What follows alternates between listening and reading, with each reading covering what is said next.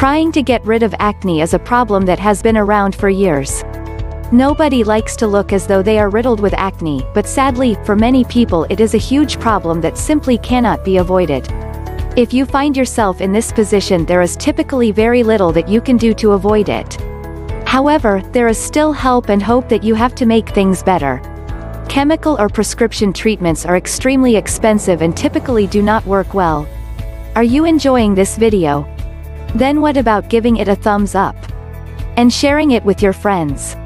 Some of the most common ingredients for acne home remedies include things such as cucumber, lemon juice, and also milk. However, there are plenty of other ingredients that can be used as well. If you are willing to take some time to learn it is possible to find a rather large amount of successful acne treatments that all do not have any serious side effects that can cause you substantial problems.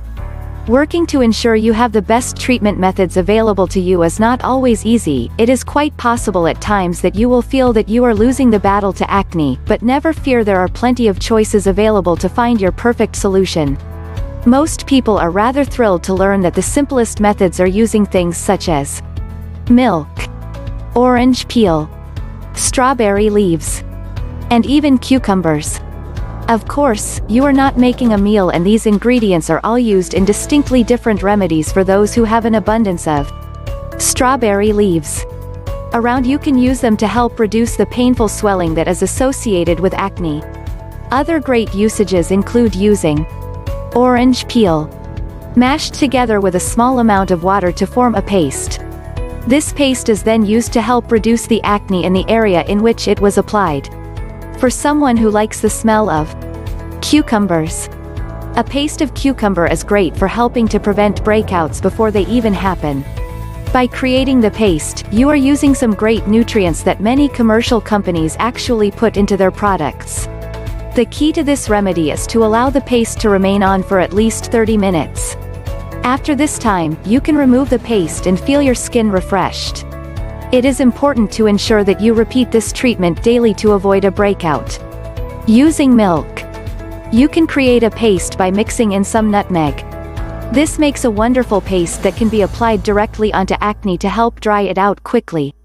Repeated usages might be required to clear it up entirely, but it is typically extremely effective. Mint juice is a great remedy as well. It can be used either all by itself, or you can punch it up a notch by mixing it together with turmeric powder.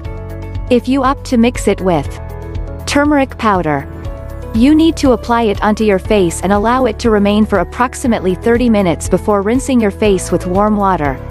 Be certain that you rinse it thoroughly or you could risk over-drying your skin. Finding your perfect home remedy for acne is likely to be a prolonged process.